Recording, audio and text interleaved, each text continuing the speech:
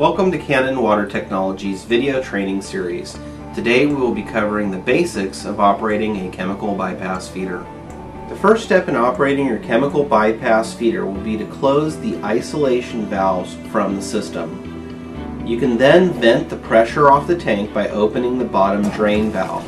Once all the pressure has been relieved, you can safely remove the cap on the bypass feeder. Before adding chemicals, ensure that you close the bottom drain valve.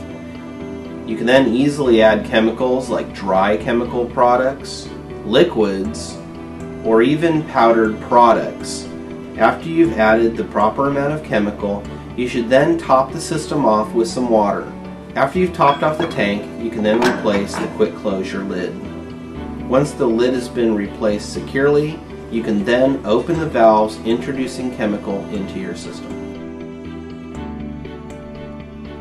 If you have any questions about water treatment or water treatment related equipment, you can contact Cannon Water Technology anytime by visiting us on our website www.cannonwater.com or call us toll free 800 230 1426.